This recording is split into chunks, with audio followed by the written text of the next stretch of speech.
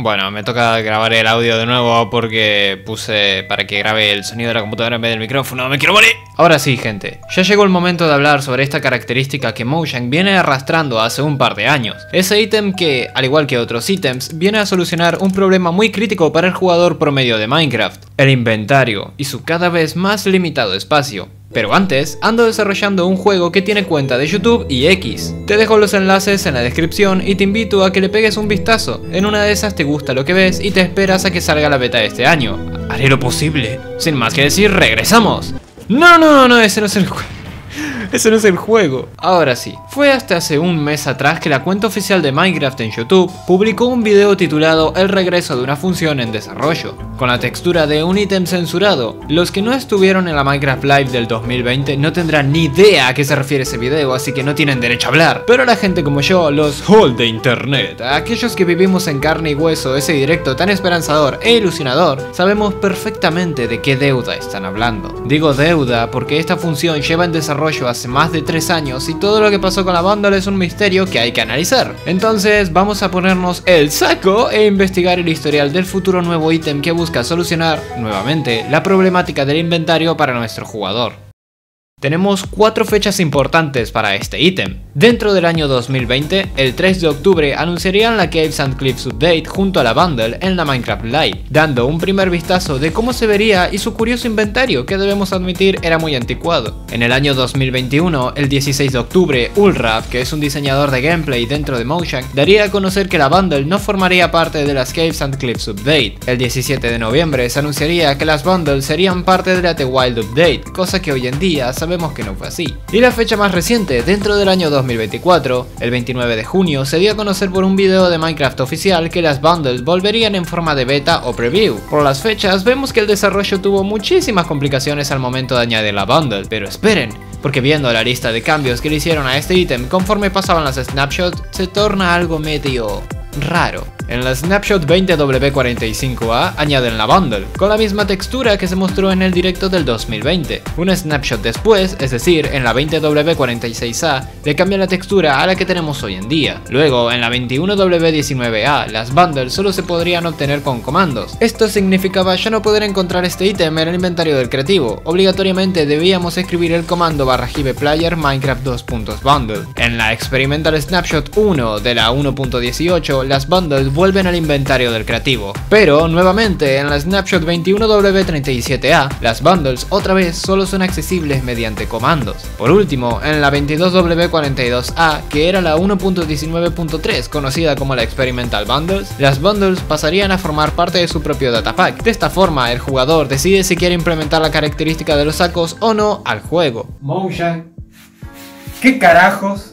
Podemos ver lo incómodos que estaban con esta característica. Implementar este solo ítem al juego fue un dolor de cabeza, pero hay algo que me intrigó mucho. En la Snapshot 21W05A, cuando el jugador recibe por primera vez un saco en el inventario, este mismo recibe un pequeño tutorial, según la wiki. Decidí investigar sobre esto en el canal de YouTube Sliced Lime, que es el de un desarrollador de Mojang. En el video de dicha Snapshot, en el minuto 729, se ve un pequeño cartel arriba que dice cómo debes usar el saco.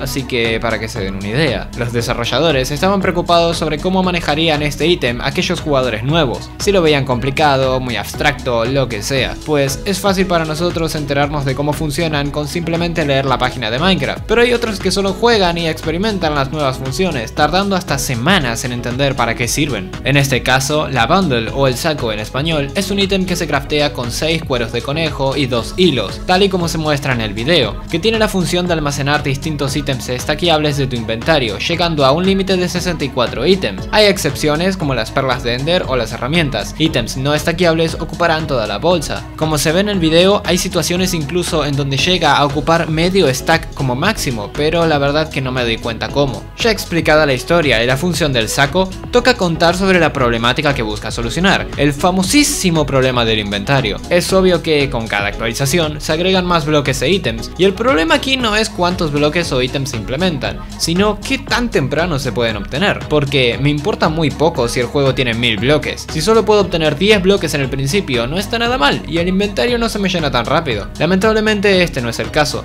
ya que las nuevas características invaden por todas partes. Agregaron nuevos bloques e ítems a las cuevas, montañas, a las estructuras, a las dimensiones. Ya quisieras tener un end actualizado, XDDD. A lo que voy es que el nuevo contenido daña cada vez más a nuestro inventario. Ojo, porque esto no es solo error de lo que agrega Motion al juego, también es error nuestro por demandar cada vez más contenido. Me encanta porque la gente pide nuevos enemigos, nuevo loot, nuevas armas y armaduras, nuevos biomas y aún así se siguen quejando de lo rápido que se llena el inventario. Es un constante ciclo donde discutimos a Mojang para que agreguen esto, agregan lo que queremos y luego tratan de optimizar el espacio de nuestro inventario para volver a repetir el ciclo y darle espacio al futuro contenido. Y si tenemos en cuenta que cada vez agregan más accesorios de vanidad, como serían por ejemplo las Smiting Templates o los diseños de banner, la saturación del inventario sería exponencial con cada actualización. Entonces, ¿se acabó?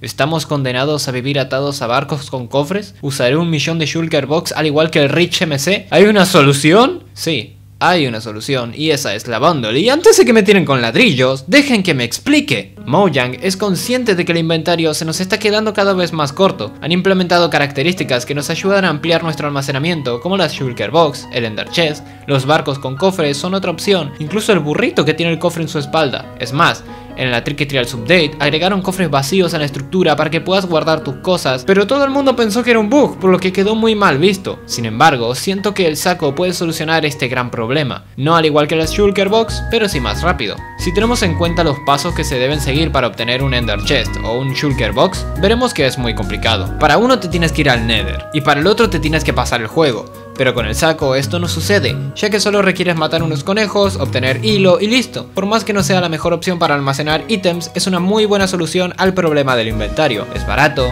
rápido de obtener, pero por sobre todas las cosas, se siente vanilla. Yo no sé cómo hicieron otros youtubers para tener un video de más de 8 minutos hablando sobre este tema. Podría terminar el video aquí nomás. Ya expliqué todo lo que quería explicar y no veo motivo aparente para darle más vueltas al laberinto. Sin embargo,